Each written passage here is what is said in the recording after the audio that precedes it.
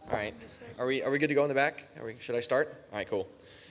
Right on. So uh, I guess I'll begin. Uh, There's still people filing in, but that's cool. Um, we're like three minutes over. So um, it's been a, an interesting con so far in terms of responsible disclosure. There've been quite a number of stories already, so this should very apropos to be the one of the last talks at con. So um, I'm Dan.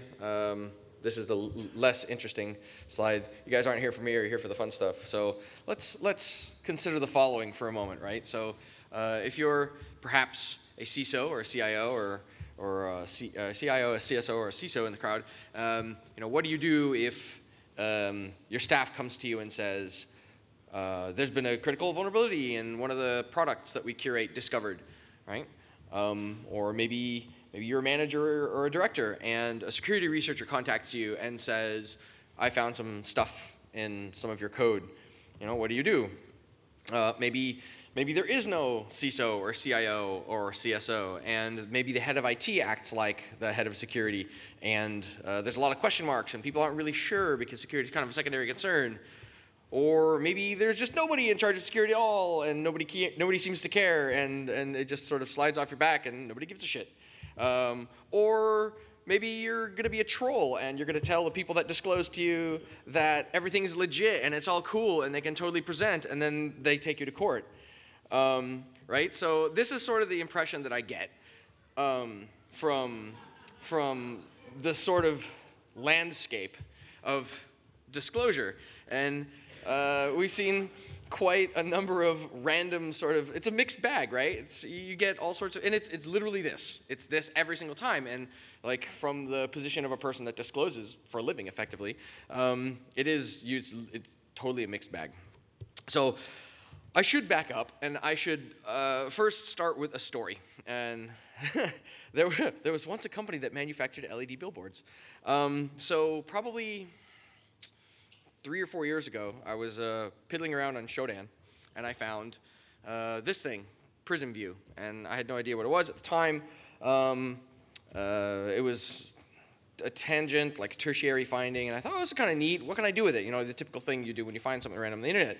Let's click on it, right? So you go and you look at it, and it's like, all right, that's cool. Um, this it looks like a sign, an advertising advertisement of some kind.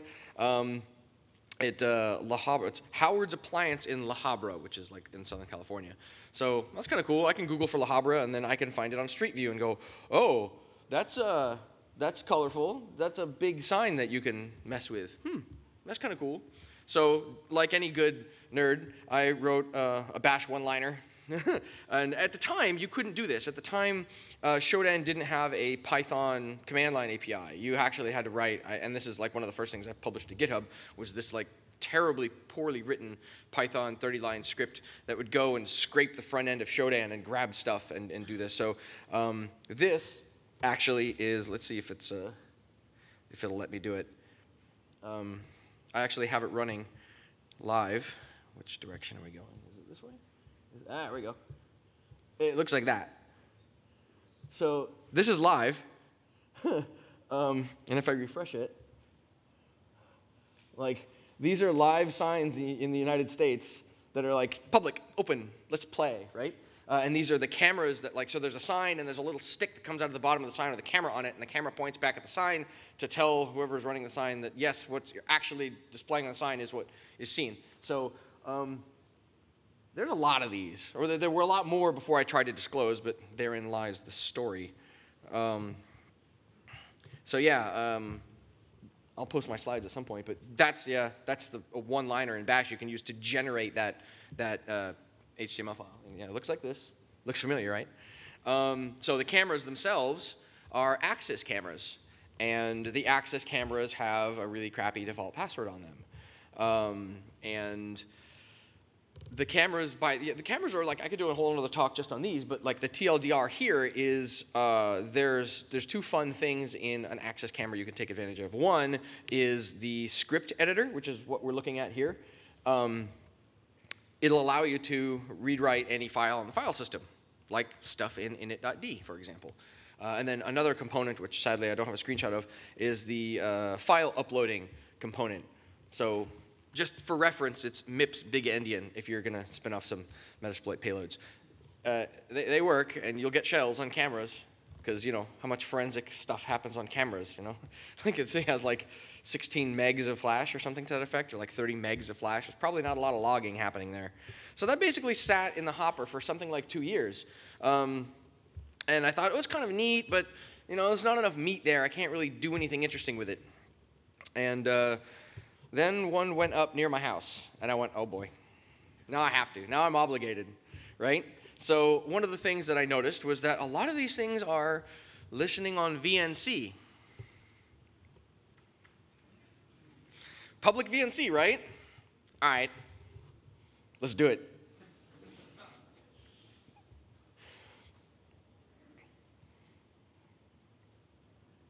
Anyway, that was fun. But yeah, so um, also uh, the fun, fun, part about VNC is that um, the command line versions of VNC won't let you use a password shorter than five or shorter than six characters. And you can see here the, the fourth line item there that CMP compare compare RAX to 0x5, which is basically saying compare this value to five, uh, which is the password length. So uh, my very very first binary patch ever was patching VNC password to change this to one instead of five, so I can use a one character password.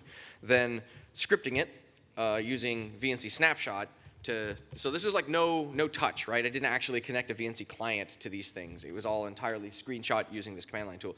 But to, to automate that, to get all these screenshots, um, you have to use VNC password at the command line, otherwise it forces you to specify credentials every time, every single time. So the password um, is really, really bad. It's uh, I guessed it. It's laughably the uh, company's name.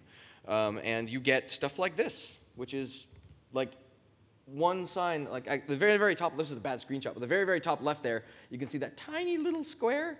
That's the ad. That's, that's what's on the sign. Uh, so I just let this thing go, and it got a whole bunch of these, a whole bunch of these screenshots. I have like probably 300. Um, and then I'm just paging through them, thinking like, well, there's not a lot interesting going on here. Um, and then I started noticing like signs I'd seen before, signs that maybe you guys saw a couple months ago in Vegas, like this one and like this one. And I was like, oh boy. There's a whole bunch of these in Vegas. They're just public. You can just mess with them. So, and the other thing to consider is like if you go back and look at these screenshots, look at the start bar. Anybody recognize what OS this is? It's XP. They're still shipping XP. So, right, I'm here. I'm like, all right, this is a big deal. I should probably say something about it because, you know, use your imagination. You control 300 of these signs across the United States suddenly just because you guessed a password. What do you do? Like, you could do some pretty evil stuff. Um, so I wrote a big long letter on uh, April 8th to Yesco, the company. And I said, well, I won't read it to you, but TLDR, this is bad. You should look into it. I'm a security researcher. I'll help. Don't worry. Like, I'm not going to charge you. Please just let me help. This is scary stuff. Let's, let's sort it out. And I literally got this back, which was like, nope, go away. Okay. All right. Three days later, and this, I promise this was not me, because like a dozen people asked, a billboard in Atlanta, Georgia got hacked, hacked, uh, and it was made to display Goatse. And it made the news, and the FBI got involved, and it was really funny. Um, yeah, you, can, you see how heartbroken I am over this, right? So this is the this is the timeline. You can see how it lines up, kind of funny. But like, so April 8th, I write them this big letter. Uh, the sign gets uh, goatseed on the 10th, which wasn't really news at the time. Didn't didn't. Uh, uh, didn't really make the news yet. Uh, I sent a follow-up email, and the reason that I got this reply was because this poor guy was dealing with the fallout of having the sign be goatseed and dealing with law enforcement and stuff like that. So he actually called me afterwards and was so to his credit, to this, this dude Brian's credit, um, he has nothing to do with the actual science. He's on the business side of the house. He's like a networking engineer for the for the company, and he works in you know the business side of stuff. So. Uh, I sadly never ever had contact with anybody from the sign side of the house. So it's a lot, a lot of this. Um, so randomly, like last Saturday, like uh, six days ago, last Saturday, uh, I went to check, and it's still up. Like the sign gets goatseed, the FBI gets involved, they take it down, it makes the news, everyone flips out, but it's like back. And for a while, it was if you if you went to Shodan and searched for Prism View, it was the first, it was the first result. So I was, wow. So End of the story, right? So where did we leave off, right? We have dog science security. Um, that's sort of the that's sort of the prevailing mantra. Um, it's it's from the researcher's perspective, it's difficult to uh, ascertain what sort of result you're going to get based on like your first comms with the company, unless there's some sort of existing um, relate not maybe existing relationship or uh, existing history of an organization working with security researchers when talking about security um, secure disclosure or responsible disclosure. Um, except for you know yesterday when when um, you know the whole FireEye debacle happened. Now we know exactly what not to do. Um, for anybody in the crowd or listening afterwards, then uh, you want to, if you have any questions about how to deal with responsible disclosure as an organization, whatever you do, just don't do what FireEye did, and you'll probably be okay. Um, so like TLDR, not a lot of people care unless you make them care, which is it's kind of hard. Like you know, from the organization, you'll hear security is a time suck. It doesn't make us any money. It's really expensive, and there's there's no risk. Uh, or they, they will say that there's no risk, but then you have you know shells and goatse. Uh, it does fill a legal checkbox if you actually do the disclosure, which makes things really helpful. So in this case, um, because I had in writing from the company, we don't care, uh, it sort of makes it really easy to go and do a presentation or do further research or collect screenshots or do what have you because I have it in writing. They told me it was okay. Of course, after yesterday, that might not be so um, easy. Well, it's easy to defend, I was going to say, but I don't know where, where FireEye is going to where that where that's going to go because they have like this documentation trail of yes everything's okay yes everything's okay wait I changed my mind I'm going to hit you with a bus um, so right, so like effectively responsible disclosure, who cares? Well, we do. We're the security researchers, are the ones. We're going to have to be the ones that drive this entire like methodology. We're going to have to be the ones that sort all this out because it's very obvious that in the vast majority, um, the organizations that we report stuff to, they just don't care. Um, so you know, on one side of the house, you can say. Uh, I found a bunch of stuff and I would like to do a talk on it, or I found a bunch of stuff and I want to report it. You can do both, uh, but it seems that the, the probably the smart thing to do would be to first disclose it and see what they say. And in the vast majority of times, you're going to either have a company that doesn't care or isn't interested or doesn't respond or whatever. But uh, in, in terms of the researcher, you'll, you're, you're filling your own checkbox to say, I have fulfilled my legal obligation to notify the organization, and now I can effectively talk publicly about it because you know, I have it in writing, they say it's okay. So I went a lot faster than I was expecting. So I will now hand you over to OJ, who has another amusing story about lols and shells.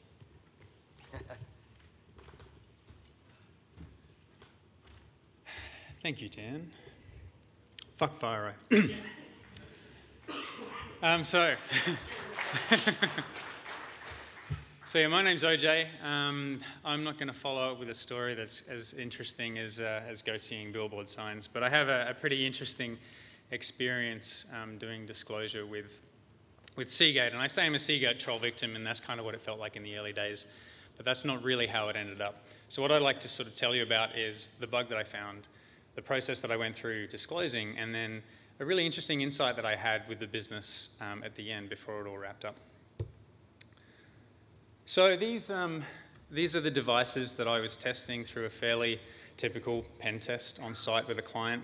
Um, they are officially the 2 and 4 bay NAS devices that, uh, that Seagate uh, have on their shelves. And um, yeah, they, they did some interesting stuff with, uh, with their development and their architecture of the, the front end of these devices. And if anyone out there's played with things like NAS devices, particularly Seagate NAS devices, you probably won't be surprised with what I'm about to tell you.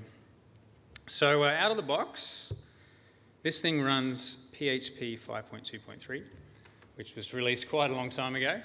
Um, what's funny about this is that this device is actually pretty new, so why they're using this version of PHP now is, uh, is rather concerning.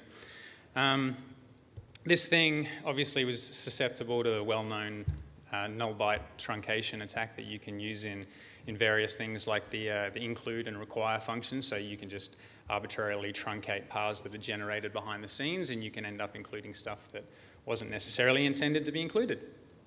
Um, on top of that, they were using an old version of something called CodeIgniter, which is a, a PHP development framework. Uh, again, very, very old and had known issues with it. In this case, the one that's pretty interesting is, um, I call it crap cookie protection. But there's an official term. But behind the scenes, what this thing does is it generates uh, cookies that contain serialized PHP objects and it's encrypted with a static key using XOR. So that was a particular. In fact, I didn't even have to do the work to find this out because somebody else had already done that for me.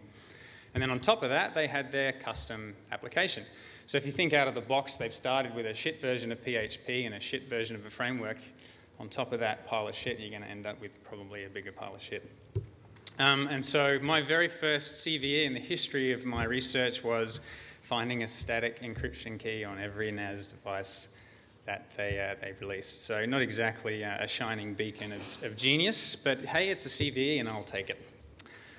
So the vulnerability um, that, that I found was, um, as I said, the, the, the, cookie was basically just a serialized PHP object. And um, when you know that encryption key, which you can get through two ways, the first is by a NAS device, and the encryption key that's on yours is the same as on everybody else's. Or you can brute force it, because behind the scenes, what it uses um, inside this, this little session key, uh, session cookie is the user agent string, which is something you control. So you can repeatedly throw stuff in the user agent string and see what comes back, and slowly but surely it will leak the key that it's using. And that's exactly what, uh, what was possible in this case. What I loved about this is on the NAS, it wasn't actually tracking any sessions. So if you sign into your NAS as admin, and then take that cookie and point it to a completely different NAS, then you're an admin on the other NAS too. So that applies across the board. You know, if you're called Bob and there just happens to be Bob on the other NAS, then you're Bob as well. So that was, that was a nice little feature. So these cookies contain uh, a few bits of information. The interesting ones uh, are the username. So if you're able to generate your own cookies, and pro tip, you can when you know the key, you can change your name from Bob to admin. Privesc. On top of that, uh, there was a language element. I'm pretty sure that anyone in this room that has played with PHP apps in particular has stumbled across language parameters in pretty much any app and gone, yeah, I'm probably going to be able to do some kind of path traversal because behind the scenes it's taking that ENUS and shoving it in a file path and, and generating a path to a file that they can include the language specific strings with. Um, but my favorite out of all of them was this.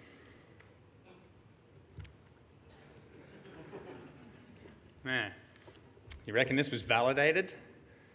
No. So, uh, you could actually modify this and set it to yes, and regardless of your name, you would have administrative privileges on the NAS. So the exploit path is actually pretty simple. You get a session by making a GET request, and it gives you a cookie.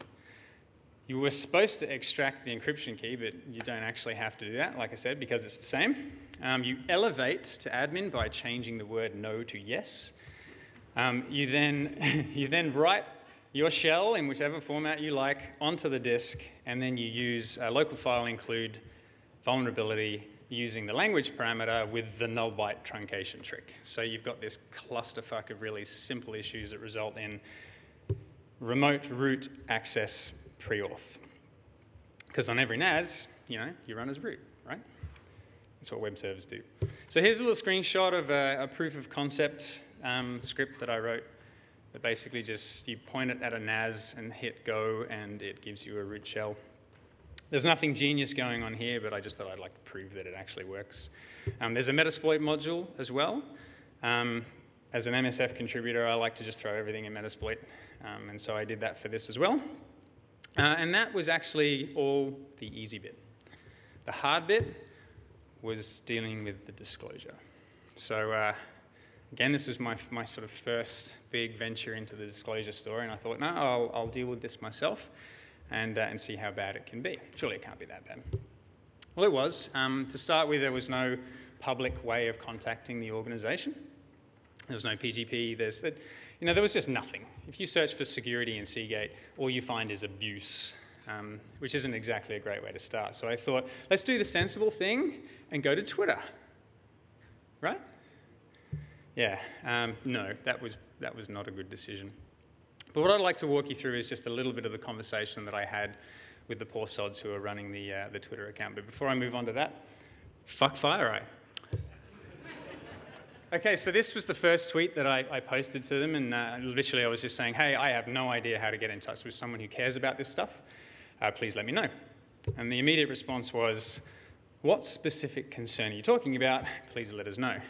So I thought, okay, well, I can't really fit the content of a disclosure inside a DM via Twitter, so I'll come back with, no, I'd, I'd rather get some, some other way that's a bit more secure that I can validate who I'm speaking to, you know, that kind of stuff.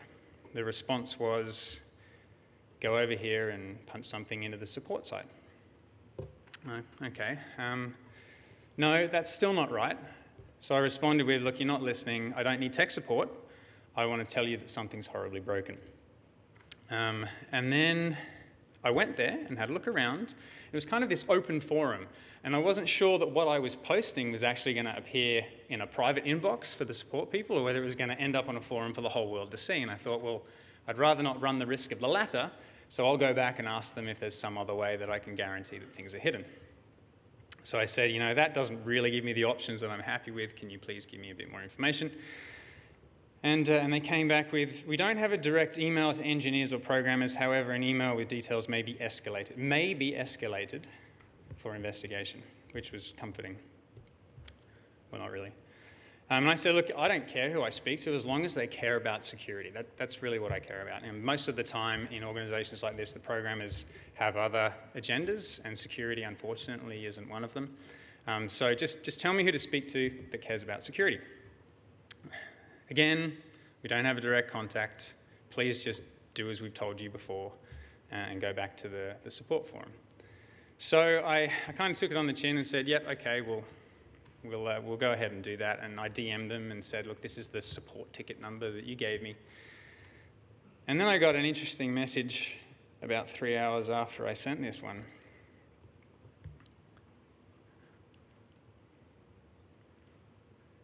Can you all read that? To verify before we pass this along, did you verify whether or not the password had been saved in the browser? Don't know whether that you've noticed, but I haven't talked about browsers or anything at all. It was like all just curl and, and calls directly to HTTP. So obviously at this point I'm thinking, well, the people behind the poor old Twitter account really don't know what they're talking about, and they're trying to deal with me in the most sensible way, but uh, I came back with, look, I have no idea how that question is relevant. Did you actually intend to give that to me? and so uh, the response was great. Welcome to Twitter. This is English only. Our Twitter support staff will be available to help you from Monday to Friday, 8 p.m. And obviously, at that point, I threw my hands in the air and gave up. Um, so, lesson number one out of this is don't expect anything from Twitter. And that's probably going to apply regardless of what you're talking about. Um, so, I thought, right, let's move back over to frontline support through the support channel and, uh, and see what they say. So, the first of the interesting emails I got back basically said, you know, we're working on it. Thanks for your efforts, and give us give us time to have a look at things. And if you have further inquiries, then then please let us know. Um, had a little bit more back and forth. They kind of refused to give me more PH, uh, P, uh, PGP key or anything like that. It was literally give us all of the detail, um, including the exploits, including all this other stuff via plain text. And, um, and so I thought, okay, well, you've asked for it. It's no longer my responsibility if this goes out of my hands and ends up in the hands of somebody who shouldn't have it. So they got the lot. On the 22nd of October last year,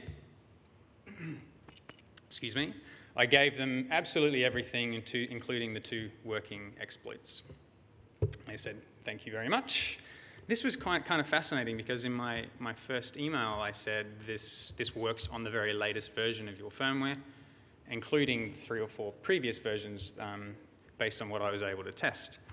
Um, and so this, this email didn't really fill me with confidence because it's pretty clear that they didn't read what I had sent them. So at which point I went through the typical table flipping thing and, and kicked the cat and went and had a beer and, uh, and came back a few days later and said, look, you're not listening, you obviously haven't read, please just have another look, run the script on one of your devices and you know, it will tell you whether they're vulnerable.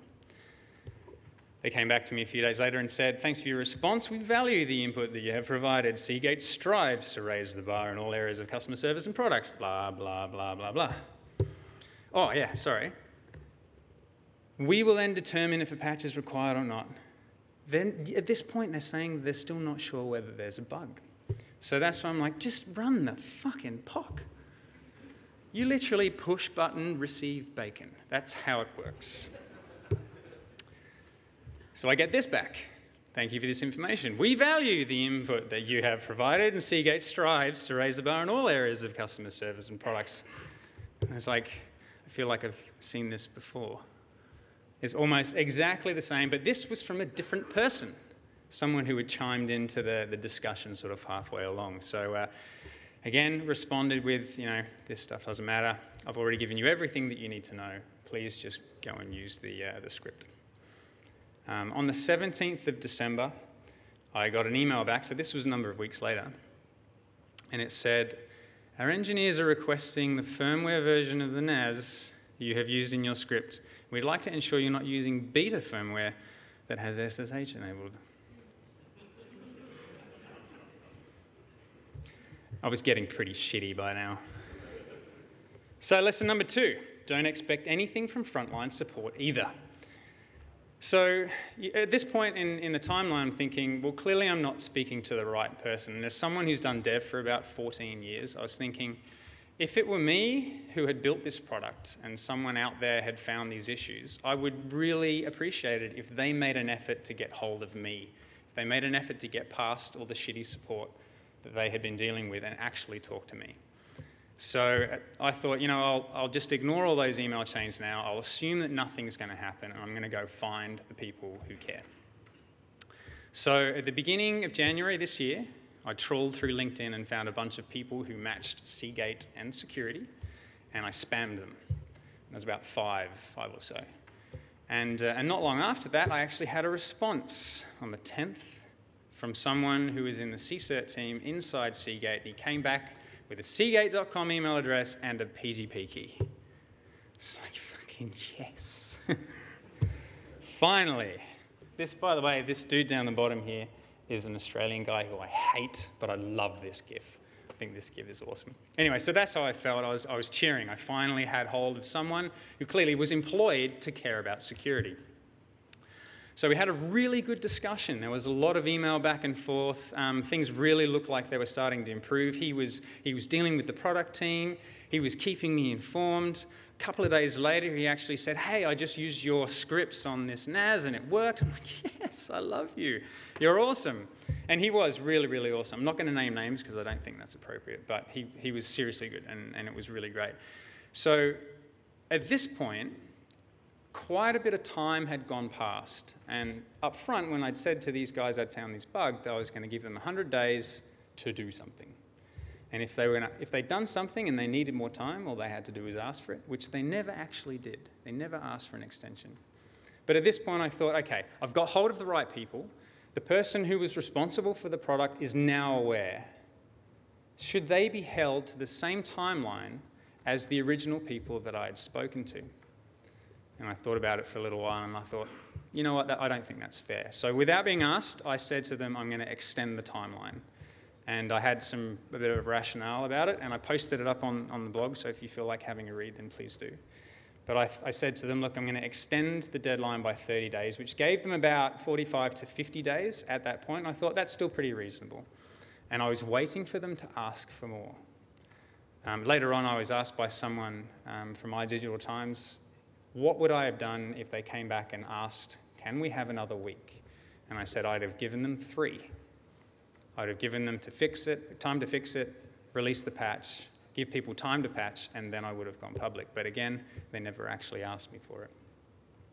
But along the way, this guy who I was dealing with actually got in touch with me multiple times without me having to ask for updates. So the tables really had turned. This guy really did care. He couldn't really give me too much detail because reasons, which is fine. But it was exciting. Unfortunately, though, it didn't last. I, I, got kind of all excited and I was really pumped. And time flew and we got pretty close to the disclosure deadline. And, uh, and I emailed the guy and I said, hey, mate, what's going on? Can you give me an update? And uh, I kind of sensed this frustration when he responded. He just said, I'm sorry, I have no updates for you.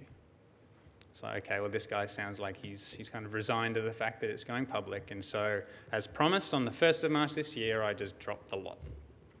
Um, again, because of my affiliations with the Metasploit guys, that, that exploit landed in Metasploit in less than an hour, and um, people started to have a bit of fun with it on their own NAS devices, of course.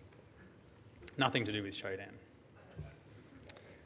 Anyway, I, I was a little bit disappointed. I was hoping that the experience of disclosing to a company like Seagate was going to be a little bit better than it was. But just under a couple of weeks later, I had contact from the same guy, and he said, Would you be open to coming uh, on the phone and having a chat with us? And I thought, you know, I'm Australian and you're American, and we think you guys just sue everybody all the time, so I, I was pretty scared. So I responded with, hey, you know, who's on the call and what's the purpose and are you going to sue me and all that kind of stuff. And they responded with, no, there's, it's going to be a one on one with someone who is really, really high up in the organization. And when they told me who it was, I was, I was pretty surprised. Um, this person, again, who will remain nameless, um, he gave me a, half of his Sunday afternoon on Skype and just laid it all out. And it was incredibly refreshing. And it taught me some things that I didn't expect to be taught. And it shined a light on an area of the organization which obviously I wouldn't have been able to um, see without him being so candid. And, uh, and, it was a great discussion, and it really did change my perception um, of the business, and it kind of changed how I felt about how they dealt with the, problems. So he and his team, the guys who I was dealing with in the latter half of this process, were all part of CSIRT. And there was no internal PSIRT at all. And for many years, this particular individual had been pushing really hard to get PSIRT going inside Seagate, but was still fighting. And apparently, behind the scenes, when I was going through this process, particularly towards the end, they were all looking forward to me dropping the stuff publicly, which was great. And as soon as it went public, you know, they threw it in the face of the rest of the organization. And they're like, look what happens when we don't do the right thing. But what I learned after speaking to these people is that despite you know the perception that we have and the fact that you know we've done free stuff and they should just go and fix it and stop complaining that there's actually a lot of stuff that goes on behind the scenes that we don't really know about and we don't understand particularly for really large organizations. Um, in this case what was really clear to me after speaking to this person was that they really do want to do better. The people who are hired in the security space want to do better part of the problem they have is that they need to educate the rest of the org. Um, and if the rest of the org doesn't care, it really doesn't matter how much they fight. So internally, they're held back by all kinds of bureaucracy. They're held back by the fact that they are not part of the teams who are responsible for the product. They're held back by the fact that they have so many other responsibilities as well. And Seagate is a pretty big org. So the amount of resources they have to deal with this stuff are actually pretty limited as well. There's barriers between the teams. You know, devs are so focused on getting features and new product out there because that's the important thing, and security is just this noisy thing that gets in the way of those releases. And more importantly, I think they're still learning about this stuff just like we are. And I think as attackers, we have it pretty easy, and, and as defenders and people who are responsible for product, we actually, they have it quite a bit harder than, than we do. It was also clear that, you know, despite um, the perception, they do really like the stuff we do. There are people inside these orgs who really do enjoy watching the fallout of these things because it allows them to take that and go, look, this is, this is what we need to do to improve. Otherwise, this kind of stuff is going to happen more. And they do use what we do as a catalyst for change internally, um, which is a bit cliched, I admit, but in this case, that certainly proved to be the case. So lesson three is kind of a shitty spin on Hanlon's razor for me, but it's a don't put down, don't put down to malice or incompetence what can be put down to bureaucracy or internal politics. And, and that was a, a bit of a, um, a realization for me when I finished speaking to this guy. Um, another lesson is uh, our egos are not the only ones that are involved, and we've got to understand that the people on the receiving end of this stuff um, may not have received it before and have never dealt with this kind of thing. So we probably should be a little bit more reasonable when dealing with them. And we don't actually know everything there is to know about coordinated disclosure or responsible disclosure. And there's a lot of things that can prevent either side of the equation from doing the right thing, whether it's reasonable or not. Um, so anyway, that's, they're the kind of big takeaways that I had. Um, if I do decide to do this again, which I'm, I don't know whether I will, um, I would certainly be keeping these things in mind when I'm talking to people. But I think as, um, as researchers, as people who find these things, there's, there's one thing that I think all of us could do better, and this is a bit of a personal mantra of mine, and that is try to be less of a dick today than you were yesterday. If we could all do that every day, then, then that would be utterly awesome. Um, so, as a final note, thank you and fuck fire.